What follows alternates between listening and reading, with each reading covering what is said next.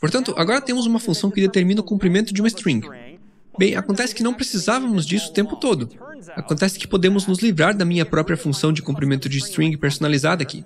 Eu posso definitivamente excluir toda a implementação aqui embaixo. Porque acontece que, em um arquivo chamado string.h, que é o novo arquivo de cabeçalho hoje, nós realmente temos acesso a uma função chamada, mais sucintamente, strlen, que literalmente faz isso. Esta é uma função que vem com C, embora esteja no arquivo de cabeçalho string.h, e faz o que acabamos de implementar manualmente. Então aqui está um exemplo de, reconhecidamente, uma roda que acabamos de reinventar, mas não precisamos fazer isso.